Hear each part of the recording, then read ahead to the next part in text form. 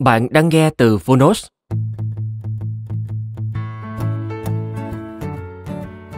Chế độ ăn trường thọ Tối ưu cân nặng, đẩy lùi bệnh tật, kéo dài tuổi thọ Tác giả Tiến sĩ Walter Longo Giám đốc Học viện Longevity thuộc Đại học Nam California Người sáng lập trung tâm Create Cures nơi chuyên nghiên cứu về lão hóa và các bệnh liên quan đến tuổi tác.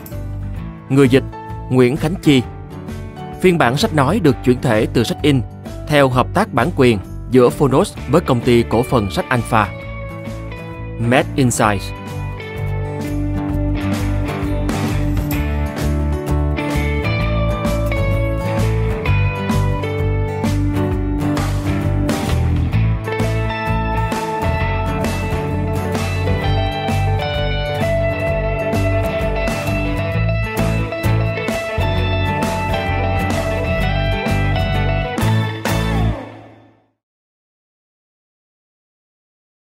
Lời giới thiệu Từ lâu, con người đã bị ám ảnh với sự sống và cái chết. Với phương Tây, đó là suối nguồn tươi trẻ, với ước nguyện kéo dài thanh xuân. Với phương Đông, đó là mong muốn cải lão hoàng đồng. Tác giả của cuốn sách, tiến sĩ Walter cũng không nằm ngoài ước vọng ấy. Ngay từ khi còn là một thiếu niên, tiến sĩ Longo đã bị lĩnh vực này thu hút. Ông càng quan tâm đến lĩnh vực này hơn khi chứng kiến con người hiện đại dưới áp lực của nhịp sống gấp gáp, chế độ ăn uống không lành mạnh, mắc một loạt các bệnh mạng tính hay thậm chí luôn than phiền về lão hóa khi mới ngoài 30. Sau này, khi đã là giám đốc của Học viện Nghiên cứu Tuổi Thọ thuộc Đại học Nam California, tiến sĩ Longo luôn mang theo một quan niệm tiến bộ và đúng đắn. Mục tiêu cải thiện tuổi thọ không chỉ nằm ở số tuổi tăng dần sau mỗi năm, mà là chất lượng cuộc sống. Hay nói cách khác, chúng ta nên và có thể sống lâu hơn một cách khỏe mạnh. Theo quan điểm lâu nay, sống lâu gắn liền với quá trình suy giảm của tế bào và các cơ quan, cũng như có liên quan đến hàng loạt bệnh mạng tính. Nhưng những kết quả nghiên cứu trong nhiều thập niên trên động vật cũng như con người, trên cấp độ tế bào cũng như cá thể hay cộng đồng, đã đưa đến một kết luận theo hướng mới, rằng con người có thể khỏe mạnh và sinh hoạt bình thường ngay cả khi đã vào độ tuổi thất thập cổ lai hy hay còn hơn thế nữa. Vậy điều gì khiến con người hiện đại sớm có các dấu hiệu lão hóa và bệnh tật? Phải nhắc lại một lần nữa, nguyên nhân chủ yếu đến từ chế độ ăn bất hợp lý, gồm quá nhiều chất béo bảo hòa, chất béo hydro hóa hay chất béo dạng trans, quá nhiều đường tinh luyện, quá nhiều protein động vật, trong khi đó lại thiếu hụt nhiều dưỡng chất cần thiết Chính chế độ ăn bất hợp lý như vậy là nguyên nhân làm bất hoạt các gen có vai trò kiểm soát sự bảo vệ và tái tạo tế bào, dẫn đến một loạt các hậu quả như chúng ta đang chứng kiến ở những người cao tuổi và cũng rất có thể là chính bản thân mình nếu chúng ta không làm điều gì đó để ngăn cản tình trạng ấy. Ở đây, câu trả lời nằm chính trong câu hỏi. Nếu chế độ ăn là nguyên nhân gây ra thực trạng này, thì chính chế độ ăn là chìa khóa để giải quyết vấn đề. Nếu chế độ ăn không phù hợp, làm tiêu tan khả năng tự tái tạo bẩm sinh của cơ thể, thì một chế độ ăn hợp lý có thể làm điều ngược lại. Hàm lượng năng lượng thấp, chất béo cao, ít carbohydrate trong các bữa ăn khiến cơ thể tạo ra năng lượng từ quá trình tân tạo đường, được gọi là gluconeogenesis, từ các nguồn không phải carbohydrate sau khi nguồn dự trữ glycogen cạn kiệt. Câu trả lời của tiến sĩ Longo là FMD, Fasting My Making Diet, hay ở đây được tạm dịch là chế độ nhịn ăn không hoàn toàn. Đúng như tên gọi, nền tảng của FMD là khiến cơ thể tin rằng bản thân đang nhịn ăn. Nhịn ăn định kỳ đã phổ biến từ lâu trong rất nhiều tôn giáo, từ cơ đốc giáo, hồi giáo cho đến đạo Hindu. Giờ đây, qua các phương pháp khoa học, nó đã được chứng minh là có khả năng kích hoạt tế bào gốc, qua đó thúc đẩy quá trình tái tạo đồng thời phá hủy các thành phần hư hại bên trong tế bào, cũng như các tế bào đã bị tổn thương. Tuy nhiên, nhìn ăn đơn thuần cũng có những mặt hạn chế. Khó thực hiện, khiến cơ thể tiều tụy. Bằng cách đánh lừa cơ thể, chúng ta có thể quay ngược đồng hồ lão hóa sinh học mà không phải chịu cảm giác đói và mệt mỏi có biện pháp nhìn ăn. Cụ thể hơn, tiến sĩ Longo với những nghiên cứu của mình dựa trên những thực phẩm có lợi cho sức khỏe và được những người trường thọ sử dụng, đã gợi ý cho độc giả thực đơn 2 tuần để giúp chúng ta hiện thực hóa ước mơ có được một cuộc sống lâu dài, khỏe mạnh. Tác giả có lưu ý rằng FMD chưa được Cục Quản lý Thực phẩm và Dược phẩm Hoa Kỳ FDA phê duyệt để tiến hành thử nghiệm lâm sàng diện rộng hoặc hướng dẫn trong dinh dưỡng điều trị dành cho các bệnh. Đồng thời khuyến nghị về FMD cần được các chuyên gia y tế như bác sĩ hoặc chuyên gia dinh dưỡng đưa ra chỉ dẫn cụ thể với những người ăn kiêng hoặc với người bệnh. Tuy vậy, chế độ ăn trường thọ là một cuốn sách có giá trị. Giá trị ấy nằm ở những tác động tích cực của nó lên sức khỏe, ở nền tảng khoa học, như cách gọi của tác giả là năm trụ cột của trường thọ, bao gồm nghiên cứu cơ bản, nghiên cứu về tuổi trẻ, dịch tễ học, nghiên cứu lâm sàng, nghiên cứu về những người sống trăm tuổi và nghiên cứu về các hệ thống phức tạp. Giá trị còn nằm ở tâm huyết của tiến sĩ Longo bởi sự phát triển của khoa học được thể hiện qua việc ông dành toàn bộ tiền bản quyền của cuốn sách để tài trợ cho các nghiên cứu trong tương lai. Xin trân trọng giới thiệu với độc giả. Hà Nội, ngày 28 tháng 12 năm 2020, Phó giáo sư tiến sĩ Nguyễn Đỗ Huy, công tác tại Trung tâm Đào tạo Thực phẩm và Dinh dưỡng. Dành tặng mẹ tôi, Angelina, cha tôi, Camelo, anh trai Claudio, em gái Patricia. Và dành tặng cho những ai đang tìm kiếm giải pháp, kiến thức và hy vọng. Lời mở đầu.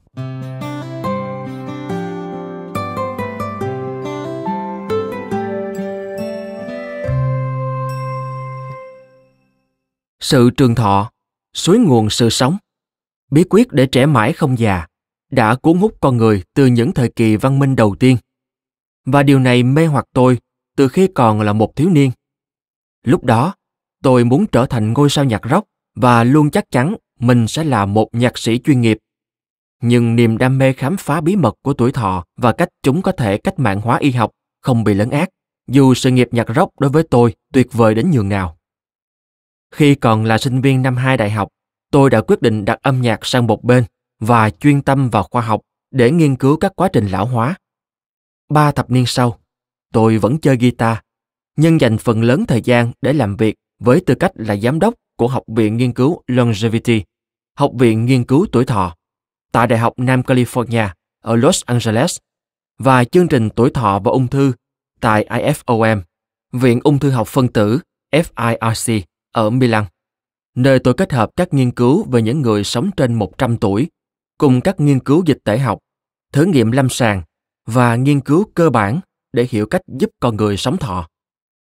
Nhưng điều thôi thúc tôi không chỉ là ý tưởng sống lâu hơn, mà là sống lâu hơn một cách khỏe mạnh, duy trì sự năng động và trẻ trung vượt qua tuổi thọ truyền thống. Để đạt được điều đó, trong nhiều thập niên, các phòng thí nghiệm của tôi đã thực hiện nghiên cứu trên tế bào, động vật và con người, tập trung tối đa hóa chức năng, học tập trí nhớ, thể chất, phòng ngừa và điều trị bệnh, đặc biệt chú trọng đến ung thư, tiểu đường, bệnh tim mạch, cũng như các rối loạn tự miễn và thoái hóa thần kinh. Trái với quan niệm cho rằng việc sống lâu hơn sẽ kéo dài thời gian ốm đau, dữ liệu của chúng tôi cho thấy, thông qua việc hiểu rõ cách cơ thể con người được duy trì khi còn trẻ, chúng ta có thể hoạt động hoàn toàn bình thường khi ở độ tuổi 90, 100 hay hơn thế nữa. Một trong những biện pháp chủ yếu để có được sự hiểu biết này chính là khai thác khả năng tự tái tạo bẩm sinh của cơ thể ở cấp độ tế bào và cơ quan. Không may, chế độ ăn uống hiện đại và sự tiêu thụ đặc trưng không thay đổi cho cách ăn uống tại phần lớn những nước phát triển đã khiến công tắc của cơ chế bẩm sinh này bị ngắt vĩnh viễn. Con người sẽ sớm bị bệnh và thoái hóa ngay từ độ tuổi 30 và 40. Nhưng sau hơn 30 năm nghiên cứu tôi phát hiện ra rằng công tắc đó có thể được bật lại khá dễ dàng. Khó khăn nằm ở việc tìm ra cách khả thi và an toàn để thực hiện cho tất cả mọi người. Cho phép tôi tự sự đôi chút. Từ Genoa, quê nhà của Christopher Columbus, phía tây bắc nước Ý, tôi đến Mỹ lần đầu tiên năm 16 tuổi. Genoa là nơi tôi sinh ra và lớn lên. Tuy nhiên, tôi đã dành những mùa hè của mình ở Calabria, miền nam nước Ý, quê hương của cha mẹ. Nuôi dưỡng ước mơ trở thành ngôi sao nhạc rock nổi tiếng và đã tra tấn bà con hàng xóm trong tòa nhà đủ lâu bằng tiếng guitar điện ồn ào. Tôi chuyển đến Chicago, sống với một người cô và theo đuổi việc học âm nhạc. Cùng với cộng đồng âm nhạc đang lớn mạnh và vài bản nhạc blues hay nhất cả nước, lần đầu tiên tôi được tiếp xúc với chế độ ăn của người Mỹ. Lớn lên ở hai khu vực có nền ẩm thực lành mạnh nhất thế giới và chưa bao giờ thực sự nghĩ về điều đó. Tôi đã rất ngạc nhiên về khẩu phần ăn khổng lồ, lượng lớn thịt và phô mai trong hầu hết các bữa ăn. Đồ uống có đường cùng đồ ăn vặt luôn sẵn có. Tôi còn nhận thấy những họ hàng người Ý sống ở Chicago đang có dấu hiệu bệnh tiểu đường, bệnh tim mạch và các bệnh khác mà các thành viên gia đình ở quê nhà ít mắc phải. Vào thời điểm đó, tôi không nghĩ nhiều về chuyện này, nhưng sau một khoảng thời gian, chúng đã thôi thúc và giúp tôi củng cố các giả thuyết về chế độ ăn uống, bệnh tật và tuổi thọ. Vài năm sau, khi tới Đại học Bắc Texas ngay phía ngoài Dallas để tiếp tục học nhạc, sự hứng thú của tôi về quá trình lão hóa trở nên mạnh mẽ. Tất cả bạn bè của tôi, những người gần hoặc hơn 30 tuổi, bắt đầu than thở về sự lão hóa. Nhưng có lẽ vì đã ở bên cạnh ông tôi khi ông qua đời, một điều khác luôn tồn tại trong tôi, chờ đợi cơ hội để đưa tôi đi theo định hướng mới. Cũng như tình yêu với âm nhạc, vào năm thứ hai đại học, tôi nhận ra điều mình thực sự muốn làm là nghiên cứu về cách con người duy trì tuổi trẻ. Vì thế, tôi chuyển sang khoa hóa sinh để bắt đầu học về sự lão hóa. Bốn năm sau, tôi tham gia một trong những khóa học hay nhất về sinh học liên quan đến quá trình lão hóa. Chương trình tiến sĩ bệnh học tại Đại học California, Los Angeles và ở phòng thí nghiệm của bác sĩ Roy Wanford, chuyên gia hàng đầu thế giới vào thời điểm đó về dinh dưỡng và tuổi thọ. Một lĩnh vực mới bắt đầu hình thành. Phần còn lại thì các bạn đã rõ. Cho đến nay, tôi đã nghiên cứu về vấn đề sống lâu khỏe mạnh trong hơn 30 năm. Tìm hiểu mối liên hệ giữa dinh dưỡng và các gen kiểm soát sự bảo vệ và tái tạo tế bào. Chế độ ăn trường thọ, tập hợp những điều tôi đã học được và được xây dựng thành một chương trình đơn giản để bất kỳ ai cũng có thể áp dụng. Chỉ cần tuân thủ chế độ dinh dưỡng hàng ngày tôi đưa ra và kết hợp định kỳ 2 tới 12 lần mỗi năm, tùy vào tình trạng sức khỏe của bạn. Với chế độ nhịn ăn không hoàn toàn, viết tắt là FMD, Fasting Mimicking Diet, đúng như tên gọi của nó. Một chế độ ăn kiêng bắt chước việc nhịn ăn, đem lại lợi ích như nhịn ăn mà không gây cảm giác đói và thiếu thốn. Tôi phát hiện ra sự kết hợp này có thể bảo vệ, tái tạo và làm trẻ hóa cơ thể, giúp chúng ta trẻ trung và khỏe mạnh lâu hơn.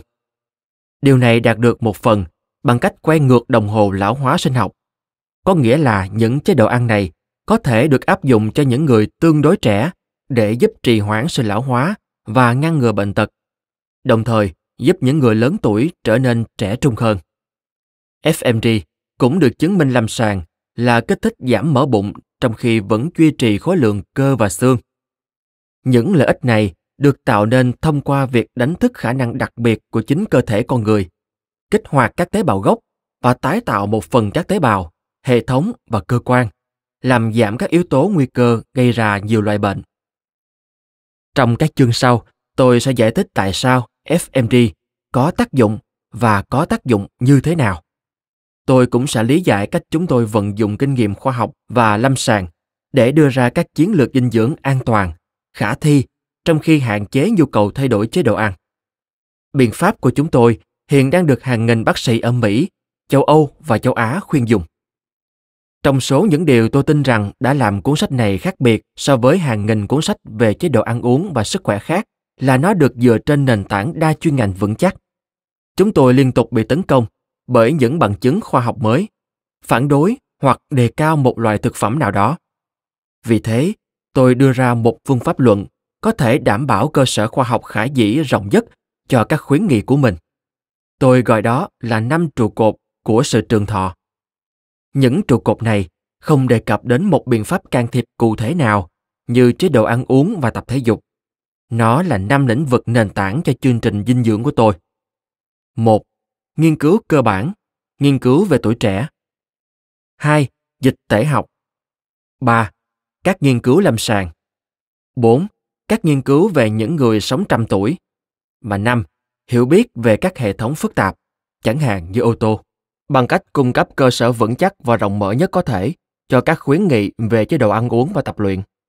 Chúng tôi không chỉ đảm bảo tính hiệu quả, mà còn giảm thiểu tối đa khả năng các nghiên cứu trong tương lai sẽ thay đổi chúng một cách đáng kể. Những nghiên cứu và học hỏi từ nhiều nhà khoa học ở những lĩnh vực khác nhau trong 30 năm qua đã cho phép tôi xây dựng một hệ thống mà tôi tin rằng đủ vững chắc để bạn có thể sử dụng suốt đời. Việc tìm kiếm những bí quyết để sống lâu, sống trẻ đã đưa tôi đến khắp nơi trên thế giới. Từ Los Angeles đến dãy Andes phía nam Ecuador, từ Okinawa Nhật Bản đến Nga, rồi từ Hà Lan đến miền nam nước Đức. Nhưng cuối cùng, sự tìm tòi đó đưa tôi quay trở lại Ý. Mặc dù không biết điều này khi còn nhỏ, nhưng khu vực ở miền Bắc nước Ý, nơi tôi sinh ra và lớn lên, tình cờ là một trong những nơi có tỷ lệ người dân sống trên 65 tuổi cao nhất trên thế giới, 28,3%, theo Viện Thống kê Quốc gia Ý vào năm 2016. Chúng tôi cũng phát hiện ra rằng, khu vực miền Nam, nơi tôi thường nghỉ hè thời thơ ấu, lại là một trong những nơi có tỷ lệ người sống thọ trăm tuổi cao nhất trên thế giới. Đây là một sự trùng hợp đáng ngạc nhiên, nhưng cũng là sự ghi nhận và đặc ân đối với sự nghiệp của tôi khi đưa những nghiên cứu của mình trở lại nơi tôi lớn lên và có thể nhìn thấy nơi đó một lần nữa qua đôi mắt của những người đã sống thọ, sống khỏe trọn đời ở nơi đó. Lấy cảm hứng từ tất cả những người bạn sống thọ ở quê nhà và trên khắp thế giới, cuốn sách này dành cho bất kỳ ai muốn gia nhập hàng ngũ của họ. Lưu ý về lợi nhuận và sản phẩm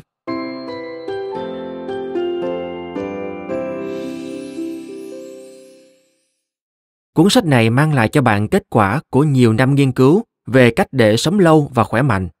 Nhưng còn có một lợi ích khác. Với 100% tiền bản quyền của tôi dành để làm từ thiện, bạn cũng sẽ góp phần tài trợ cho các nghiên cứu có giá trị thông qua các tổ chức như Hiệp hội Create Cures, nghĩa là tạo ra cách chữa bệnh.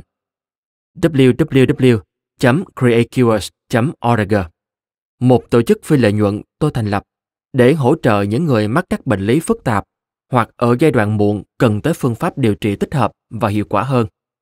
Hàng ngày, tôi đều nhận được email từ những bệnh nhân được chẩn đoán mắc các bệnh nghiêm trọng, ung thư, rối loạn tự miễn và rối loạn chuyển hóa, thoái hóa thần kinh, vân vân, đang tìm kiếm các lựa chọn khác ngoài phương pháp điều trị tiêu chuẩn do bác sĩ của họ đưa ra. Không may, những hướng dẫn chuyên môn, lo ngại về kiện cáo, công việc quá tải và sự phức tạp của bệnh tật khiến bác sĩ chỉ tập trung vào các phương pháp điều trị tiêu chuẩn và thường không cung cấp cho bệnh nhân những phương án mở rộng ngay cả lúc họ yêu cầu khi tôi dành thời gian với các bác sĩ lâm sàng làm việc về các liệu pháp cải tiến cho ung thư và các bệnh khác rõ ràng là họ cần các nhà nghiên cứu như tôi để giúp họ đưa ra các biện pháp can thiệp mở rộng an toàn, được xây dựng dựa trên nền tảng nghiên cứu vững chắc và có lợi cho bệnh nhân của họ nhiều người trong số đó không thể chờ đợi hàng năm trời để hoàn thành những thử nghiệm lâm sàng lớn. Đó là lý do tôi thành lập Hiệp hội Create Cures.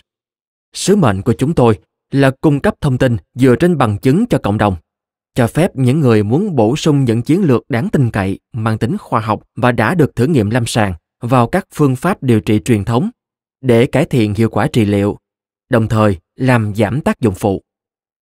Mục tiêu của chúng tôi không phải là giảm nhẹ vai trò của bác sĩ trong việc chăm sóc bệnh nhân, mà là nâng cao vai trò đó bằng cách cung cấp thông tin về các cách tiếp cận mở rộng được hỗ trợ bởi dữ liệu nghiên cứu trên động vật và lâm sàng vững chắc. Chúng ta đang sống trong thời kỳ khi nguồn tài trợ cho nghiên cứu ngày càng bị thắt chặt. Những ý tưởng sáng tạo hoặc thay thế nhận được rất ít sự quan tâm. Vì thế, lợi nhuận của tôi từ việc bán cuốn sách này sẽ được chuyển thẳng tới Hiệp hội CreateCures, các trường đại học và viện nghiên cứu phi lợi nhuận khác. Do vậy, cứ mua nhiều sách đi, đem tặng bạn bè và gia đình. Bạn tặng sách cho ai có nghĩa là bạn đang giúp người đó và bạn cũng đang trực tiếp tài trợ cho nghiên cứu đang được thực hiện của chúng tôi về lão hóa, ung thư, bệnh Alzheimer, Parkinson, bệnh tim mạch, bệnh đa xơ cứng, bệnh Crohn và viêm đại tràng cũng như bệnh tiểu đường tiếp 1 và tiếp 2. Tôi liệt kê những căn bệnh cụ thể này vì chúng tôi đã thực hiện nghiên cứu cơ bản trên tất cả các bệnh đó và đang lên kế hoạch hoặc đã bắt đầu, một số thì đã hoàn thành, các thử nghiệm lâm sàng với thành công được ghi nhận.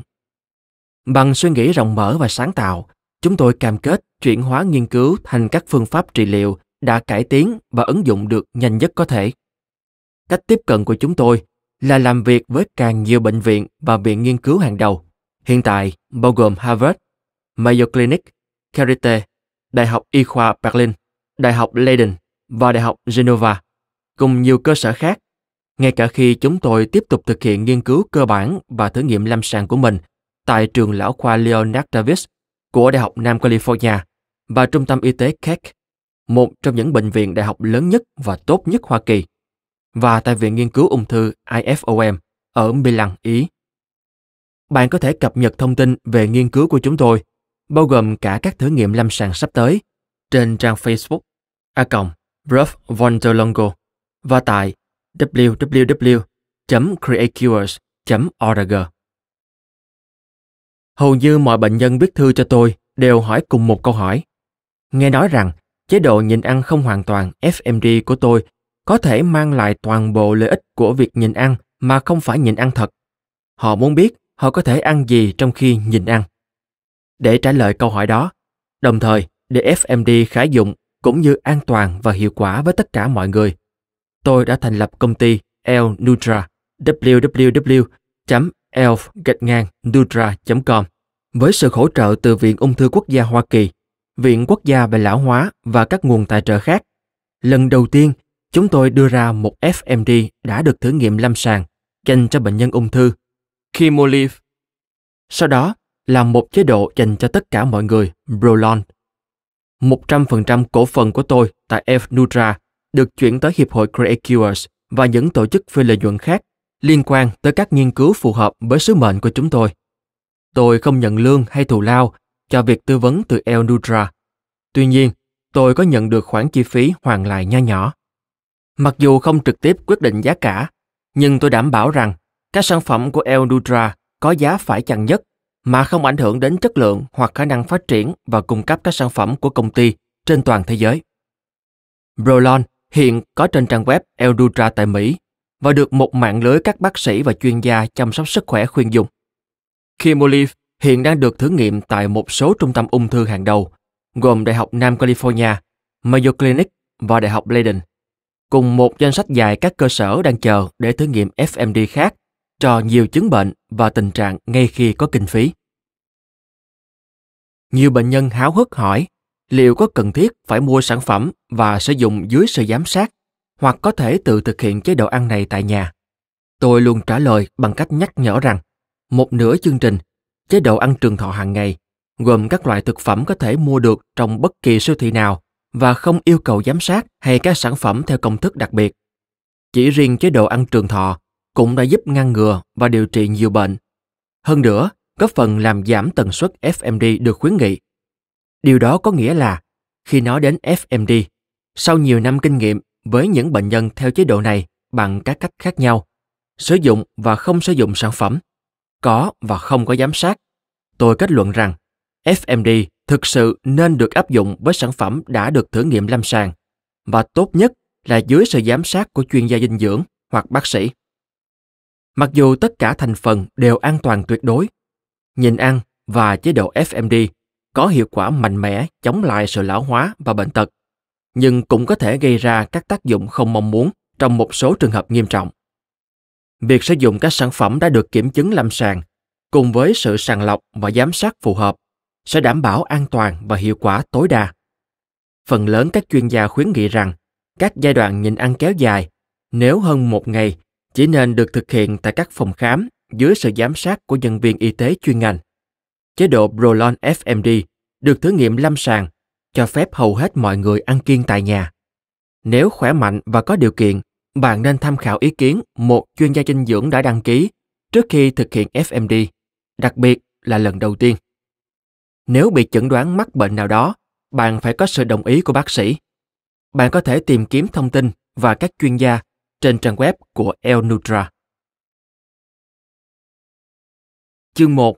Đài phun nước của Caruso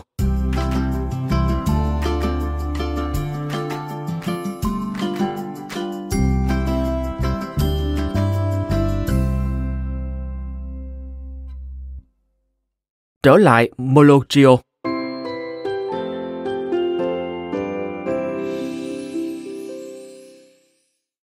Từ mũi cực nam nước Ý, lái xe một tiếng rưỡi về phía bắc và bạn sẽ tới một thị trấn nhỏ mang tên Mologio thuộc vùng Calabria. Tên của nó có lẽ bắt nguồn từ Moloke trong tiếng Hy Lạp, có nghĩa là cẩm quỳ, một loài thảo dược có hoa màu tím rực rỡ. Ở quảng trường trung tâm, một đài phun nước bạn có thể uống trực tiếp. Dòng nước mát lạnh của nó chảy qua những mạch nước ngầm từ dãy núi Aspromonte. Năm 1972, khi lên 5 tuổi, tôi ở Molochio 6 tháng với mẹ. Bà đến đó để chăm sóc người ông bị ốm của tôi. Trong nhiều năm, ông Alfonso đã không để ý tới việc bị thoát vị, một tình trạng đơn giản có thể điều trị được. Ngày ông mất, mọi người gọi tên để đánh thức ông. Tôi bước vào phòng và nói, mọi người không thấy rằng ông đã mất rồi sao? Tôi rất thân thiết với ông. Sự ra đi của ông khiến tôi vô cùng đau buồn. Nhưng ngay cả khi còn là một đứa trẻ, tôi cảm thấy rằng đối diện với sự lão hóa và cái chết là một việc mình phải làm, rằng tôi phải có trách nhiệm với điều đó bằng cách này hay cách khác. Hàng xóm của chúng tôi ở Molotio, ông Salvatore Caruso, trạc tuổi ông tôi. Vào năm 2012, 40 năm sau ngày ông tôi mất, Salvatore và tôi cùng xuất hiện trên tạp chí khoa học Cells Metabolism, tạm dịch chuyển hóa tế bào. Công bố phát hiện của chúng tôi, một chế độ ăn ít protein dựa trên thói quen ăn uống của người cao tuổi ở Molotio có liên quan đến tỷ lệ ung thư và tử vong thấp hơn ở quần thể người dân Mỹ. Hình ảnh ông Salvatore 108 tuổi đứng giữa những cây ô liu ở Calabria được đăng trên nhật báo The Washington Post và các phương tiện truyền thông khắp thế giới. Hai năm sau, Salvatore là người đàn ông lớn tuổi nhất ở Ý và là một trong bốn người hơn trăm tuổi ở Molotio Vì khi ấy chỉ có khoảng 2.000 người sống ở đó. Molotio là một trong những nơi có tỷ lệ người trăm tuổi cao nhất thế giới, gấp 4 lần Okinawa, Nhật Bản, nơi được tin là có tỷ lệ người sống trên trăm tuổi cao nhất đối với một vùng rộng lớn. Ông Salvatore mất năm 2015 ở tuổi 110 đã uống nước từ đài phun nước ở Molotio không lâu sau khi ra đời vào năm 1905.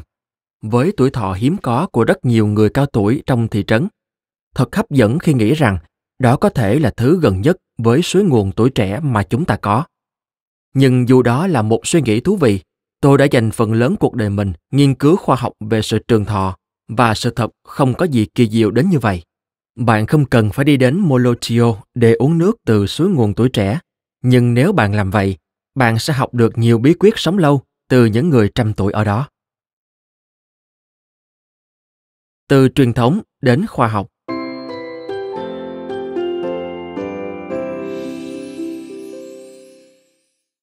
Dù là may mắn hay định mệnh, cuộc đời tôi đã đi theo con đường mang đến cho tôi góc nhìn độc đáo và vô giá về các chế độ ăn uống và nền văn hóa khác nhau. Từ chế độ ăn Calabria ở Molotio, nơi tôi đã trải qua mùa hè thơ ấu, đến chế độ ăn chay có hải sản vùng Liguria ở Genoa, nơi tôi lớn lên, hay chế độ ăn khó tiêu của người Mỹ ở Chicago và Texas, và chế độ ăn ám ảnh về sức khỏe ở thánh địa của tuổi trẻ, Los Angeles. Tôi được trải nghiệm trọn vẹn các chế độ dinh dưỡng tốt, xấu và tuyệt vời, giúp tôi hình thành nên các giả thuyết về mối quan hệ giữa thức ăn, bệnh tật và tuổi thọ. Nó cũng giúp tôi nhận ra, để hiểu được cách khiến con người có thể sống lâu và khỏe mạnh, chúng ta cần nghiên cứu các nhóm dân số thực tế đã đạt được điều đó, mà không chỉ giới hạn ở nghiên cứu khoa học, dịch tễ và lâm sàng. Mặc dù không ý thức được điều đó khi còn nhỏ, nhưng tôi lớn lên giữa hai nơi tự hào có chế độ ăn truyền thống lành mạnh nhất thế giới. Không giống như các vùng khác của nước Ý, nổi tiếng về các loại thịt, Tuscany, hay nước sốt kem Lazio, Emilia Romagna. Liguria và Calabria gìn giữ nền ẩm thực dựa trên carbohydrate phức và rau củ với các món ăn như minestrone, tức súp rau kiểu Ý, panzotti al sugo di noce, một loại bánh giống ravioli với nhân rau và nước sốt hạt ốc chó, cùng farinata, bánh nướng chảo với đậu garbanzo và dầu ô liu. Trong những mùa hè ở Calabria, chúng tôi sống đơn giản. Hầu như mỗi buổi sáng, anh trai, em gái hay tôi sẽ đi bộ lên đồi để mua bánh mì tươi sẫm màu làm từ lúa mì nguyên cám, nóng hổi mới ra lò. Khoảng hai ngày một lần, chúng tôi ăn pasta e vanyanea vào buổi trưa hoặc buổi tối, gồm một ít mì ống trộn với rất nhiều rau, đặc biệt là đậu cô ve còn nguyên vỏ. Một món ăn phổ biến khác là stoccafisso hay cá khô, cá tuyết phơi khô tương tự như bacala, tức cá tuyết ướp muối phơi khô, nhưng không có muối, ăn kèm với một món phụ là rau. Các nguyên liệu phổ biến khác trong chế độ ăn của chúng tôi là ô liu đen, dầu ô liu, rất nhiều cà chua, dưa chuột và ớt xanh. Thịt là món ăn mỗi tuần một lần. Chỉ vào chủ nhật, chúng tôi sẽ có mì macaroni tự làm với polpette, thịt viên, mỗi người hai viên, hoặc đôi khi là một miếng bít tết nhỏ. Các đồ uống phổ biến nhất là nước, từ suối trên núi, rượu địa phương, trà, cà phê và sữa hạnh nhân. Buổi sáng, chúng tôi thường uống sữa dê thay vì sữa bò. Giữa các bữa ăn, chúng tôi chỉ được phép ăn nhẹ với đậu phộng, hạt nhân, hạt dẻ, hạt ốc chó, nho khô, nho tươi hoặc ngô bắp. Khi ăn tối xong vào khoảng 8 giờ, chúng tôi thường sẽ không ăn gì thêm cho đến sáng hôm sau. Ngay cả tại chợ phiên của làng, đồ ngọt được làm từ các loại hạt và trái cây khô. Thay vì kem, chúng tôi thường ăn granita, món tráng miệng đông lạnh tương tự như sinh tố và sorbet, tức một món dạy khác hay tráng miệng làm từ trái cây và đường xoay nhuyễn rồi đông lạnh. Sorbet khá giống kem, nhưng sorbet không sử dụng sữa hay kem tươi nên không chứa chất béo. Được làm từ rất nhiều trái cây, theo tôi đó là món tráng miệng ngon nhất trên đời, nhưng nó chứa rất nhiều đường. Chúng tôi phải đi 6 dặm đến thị trấn Taorionova để tìm một quán ngon. Chế độ ăn uống truyền thống của Genoa và Liguria được cho là cũng lành mạnh như chế độ ăn của Calabria. Ít đường, bao gồm nhiều rau, đậu garbanzo, dầu ô liu, cá cơm, cá tuyết và trai. Tất cả đại diện cho các thành phần quan trọng của chế độ ăn trường thọ mà tôi trình bày trong cuốn sách này. Từ Liguria đến Chicago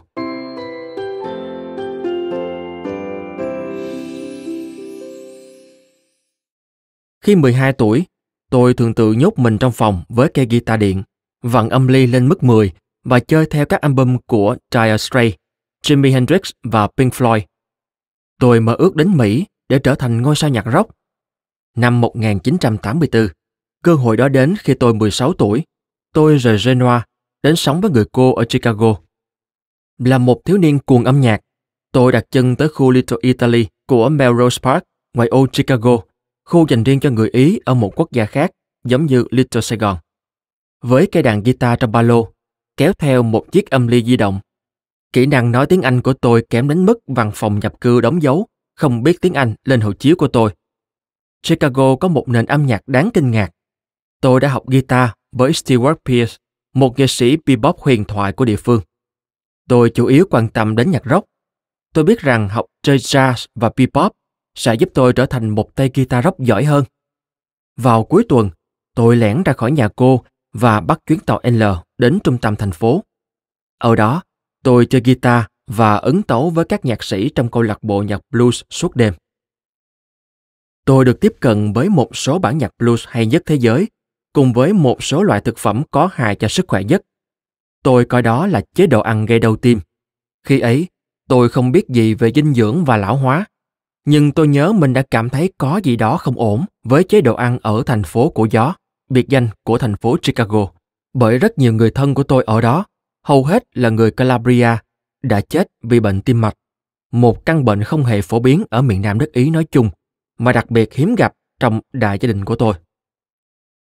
Những người đến từ miền Nam nước Ý sống tại Mỹ thường ăn thịt sông khói, xúc xích và trứng vào bữa sáng, rất nhiều mì ống, bánh mì và thịt cho bữa trưa và hay ăn thịt vào bữa tối.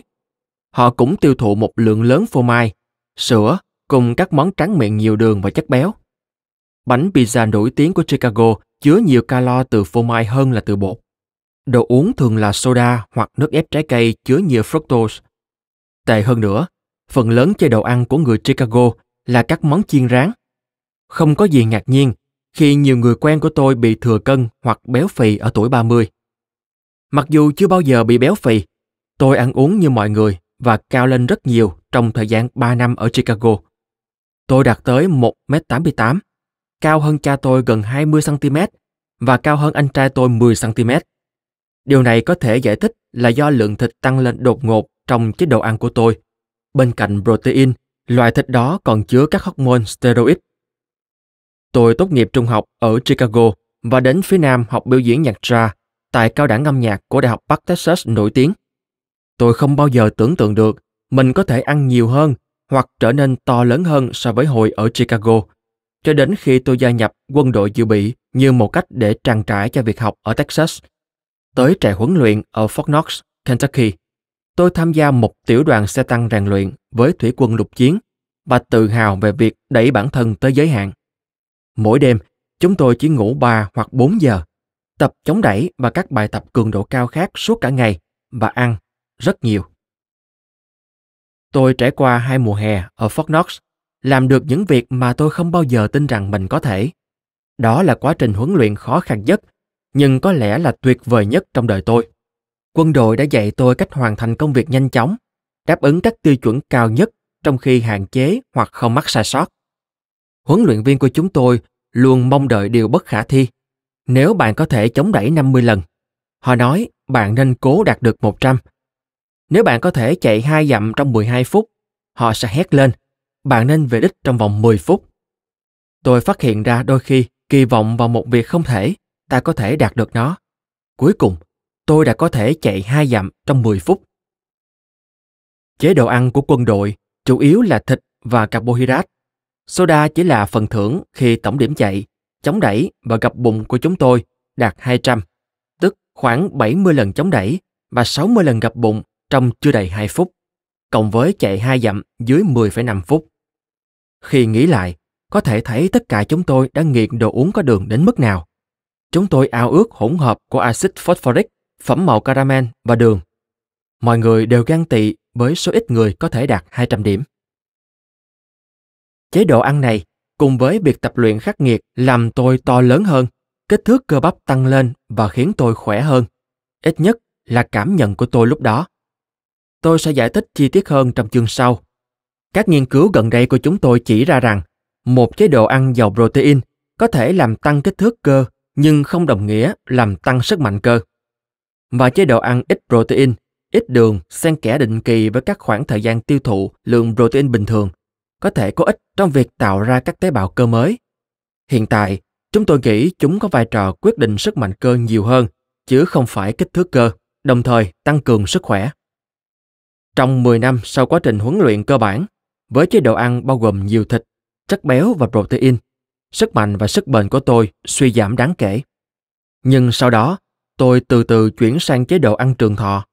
Và hơn 25 năm sau, tôi có thể thực hiện số lần chống đẩy và gập bụng tương tự như lúc 19 tuổi ở trại huấn luyện. Và có lẽ là có hình thể tốt nhất. Thời gian trong quân đội khiến tôi quan tâm đến nguyên nhân và cách thức các chế độ ăn uống khác nhau có thể cải thiện sức khỏe mà không ảnh hưởng tiêu cực đến khối lượng và sức mạnh cơ.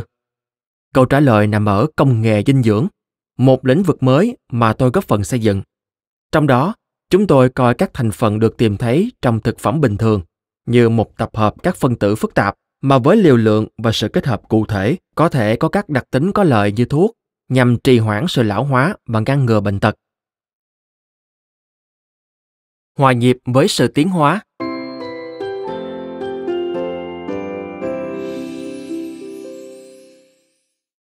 Điểm đến tiếp theo của tôi sau khi kết thúc trại huấn luyện là Denton, Texas, nằm ở ngay phía bắc Dallas, quê hương của Đại học Bắc Texas và một trong những chương trình đào tạo ngành nhạc trà lớn nhất và hay nhất thế giới, nơi tôi dự định theo đuổi bằng đại học về biểu diễn nhạc trà. Chương trình này rất khó, đòi hỏi sự nỗ lực hết mình.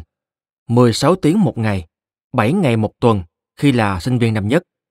Những người vĩ đại trong giới nhạc trà như nghệ sĩ piano Dan Haley và nghệ sĩ guitar Jack Peterson đã trở thành giáo viên của tôi. Nhiều người trong giới khoa học khi biết khởi đầu của tôi là một nhạc sĩ nhạc tra thắc mắc tại sao tôi lại thay đổi hoàn toàn hướng đi đời mình.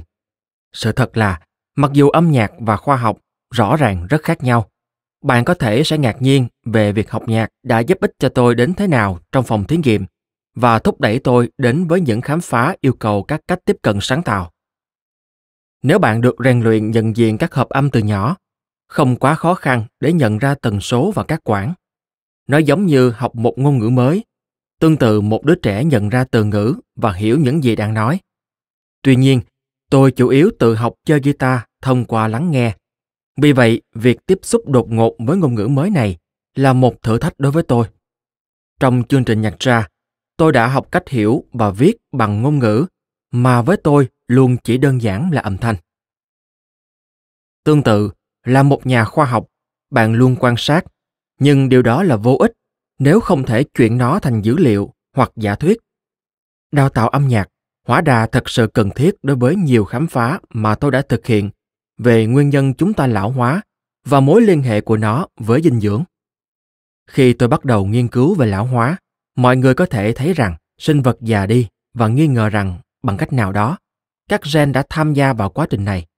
Nhưng cộng đồng khoa học không biết làm thế nào để chuyển những quan sát đó thành lời giải thích định lượng được về mặt di truyền và phân tử. Đâu là sự hòa âm và giai điệu của sự sống và cái chết. Làm thế nào chúng tôi có thể giải mã và ghi chép lại các quy trình cực kỳ phức tạp này để có thể tác động và thay đổi chúng như một ví dụ về cách học nhạc hỗ trợ quá trình nghiên cứu khoa học. Sau đây là một trong những phép loại suy yêu thích mà tôi sử dụng để giải thích phần thiếu sót của lý thuyết phổ biến về sự lão hóa gốc tự do khi cho rằng chỉ cần các chất chống oxy hóa, chẳng hạn vitamin C liều cao, có thể kéo dài thời gian sống khỏe của con người. Cố gắng kéo dài tuổi thọ của bạn bằng cách tăng lượng vitamin C tiêu thụ, giống như đang cố gắng cải thiện một bản giao hưởng Moza bằng cách tăng số người chơi solo. Solo là một nhạc cụ hay, nhưng để cải thiện một bản giao hưởng Moza bạn cần phải là một nhà soạn nhạc giỏi hơn Mozart. Tăng số lượng cello đơn thuần không làm được điều đó. Tuổi thọ khỏe mạnh của con người phức tạp hơn nhiều so với bản giao hưởng của Mozart. Phải mất hàng tỷ năm tiến hóa để đạt được trạng thái gần hoàn hảo như hiện tại chúng ta không thể mong đợi một chế phẩm bổ sung đơn giản làm điều gần như hoàn hảo tốt hơn nữa vì vậy, không thể kỳ vọng rằng chúng ta sẽ sống lâu và khỏe mạnh hơn chỉ bằng cách uống nước cam. Không ngạc nhiên khi chế phẩm bổ sung với các chất chống oxy hóa thậm chí còn không được chứng minh là có thể kéo dài tuổi thọ của chuột. Một lợi ích khác mà chuyên ngành âm nhạc mang lại cho tôi với tư cách một nhà khoa học là được đào tạo về ứng tấu và sáng tác, những yếu tố quan trọng trong nhạc ra. Và chắc chắn, trong cả khoa học, ứng tấu đòi hỏi bạn hiểu rõ những gì bạn nghe so với những gì bạn chơi, và ngay lập tức bạn có thể phản ứng lại. Nhưng đó mới chỉ là khởi đầu, bởi cuối cùng trong tra, sự ngẫu hứng thoát ra khỏi chùm hợp âm, vi phạm các quy tắc không bao giờ bị vi phạm trong nhạc cổ điển. Tuy nhiên, người ấn tấu luôn nhận thức được các hợp âm và sự vi phạm phải tuân theo các quy tắc mới dù là linh hoạt hơn nhiều trong khoa học kỹ năng này giúp bạn luôn tìm kiếm những ý tưởng mới mẻ hoặc đáng ngạc nhiên nhưng có cơ sở vững chắc trái ngược với những phát hiện theo trào lưu chỉ là những biến tấu của các khám phá quan trọng trước đó còn sáng tác buộc bạn phải viết những bản nhạc mà chưa ai từng viết nhưng không giống như ngẫu hứng bản nhạc đó phải có cấu trúc giai điệu và hòa âm cũng như các nhạc cụ và cách chơi phải được xác định. Trong khoa học và y học, cách tiếp cận như một nhà soạn nhạc thúc đẩy bạn tìm kiếm những ý tưởng mới, giả thuyết mới, nhưng can thiệp đó phải có nền tảng toán học và hài hòa với cơ thể con người và lịch sử của nó. Tôi gọi đây là hòa nhịp với tiến hóa.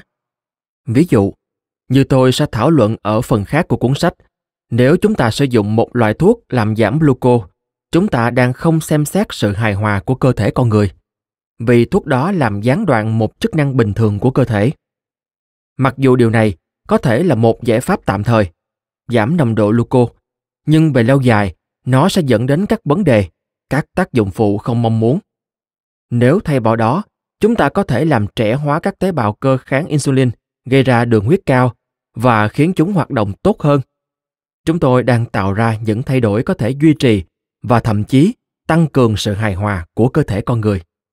Hơn nữa, nếu sự trẻ hóa này được hoạt hóa bằng cách tận dụng môi trường và điều kiện giống như quá khứ của chúng ta và các sinh vật cổ xưa hơn, thì chúng ta không chỉ đang tận dụng sự hài hòa mà còn hòa nhịp với sự tiến hóa bởi quá trình đó phù hợp với tần số của lịch sử.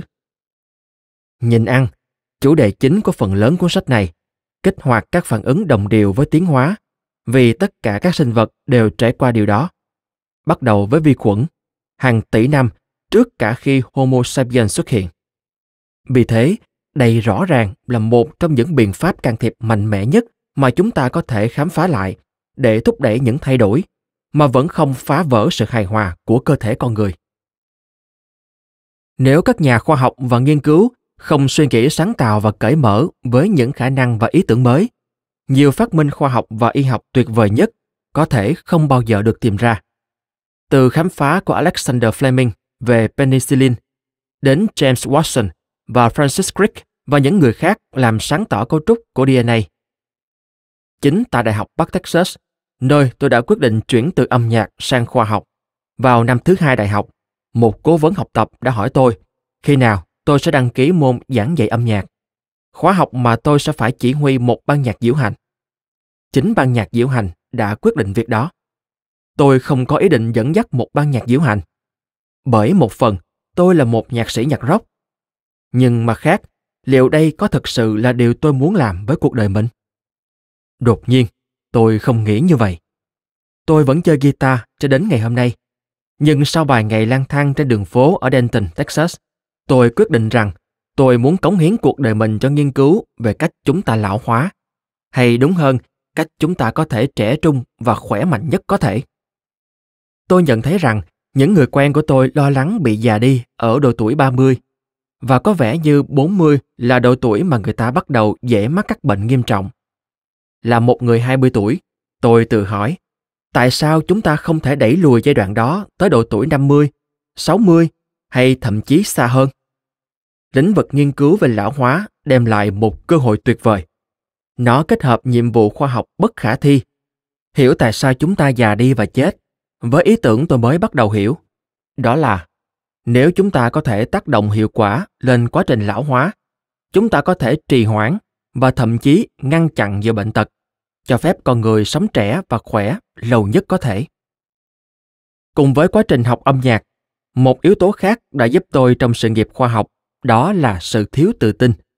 Sau quyết định chuyển đổi chương trình học, tôi đến gặp trưởng khoa hóa sinh, hào hứng để thảo luận về chương trình học mới của mình. Nói một cách nhẹ nhàng, ông rất nghi ngờ về một sinh viên chuyên ngành biểu diễn nhạc tra chưa từng học một khóa sinh học nào. Bây giờ lại muốn chuyển sang chương trình hóa sinh để nghiên cứu quá trình lão hóa. Ông nói rằng, tôi thật điên rồ và tôi sẽ không qua nổi một học kỳ. Phản ứng của ông khiến tôi ngập ngừng có lẽ ông ấy nói đúng. Cha tôi là một cảnh sát và mẹ tôi như chuẩn mực văn hóa nơi tôi lớn lên, chăm lo nhà cửa và chỉ thỉnh thoảng làm việc như một thợ may.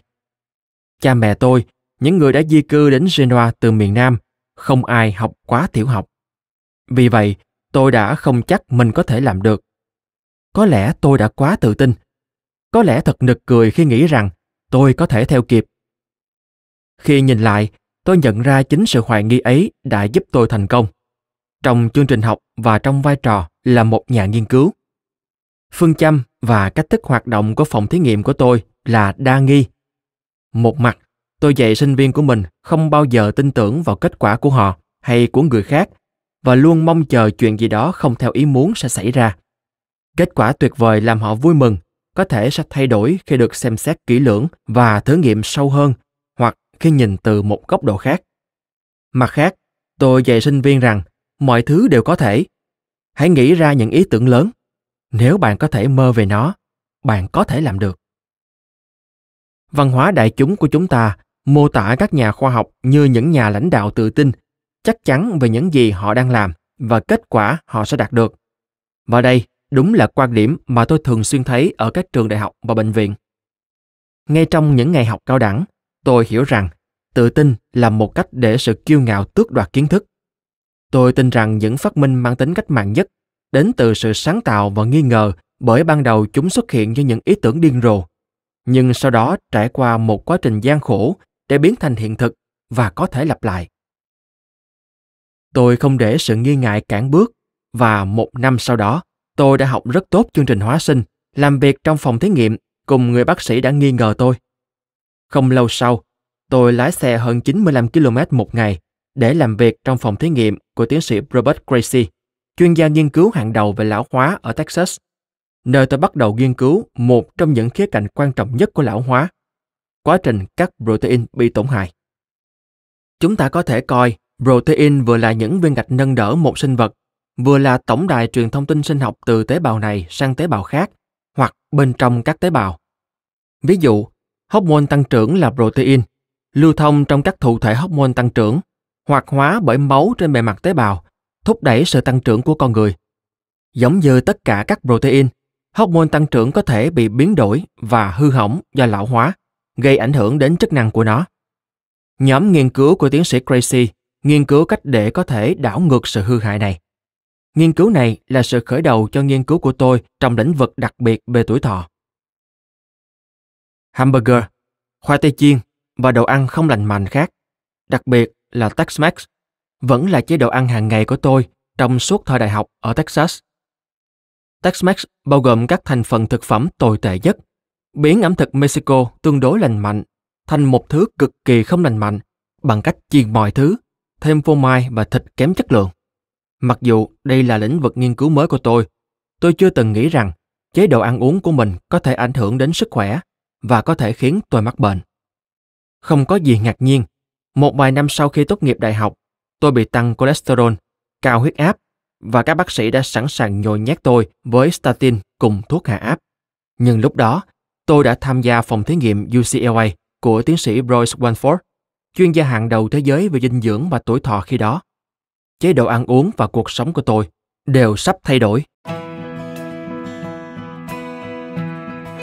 Bạn vừa nghe xong chương 1 của quyển sách. Để nghe phần còn lại, bạn có thể mua sách nói trực tiếp hoặc mua bằng thẻ sách khi đăng ký gói cước hội viên cao cấp của Phonos.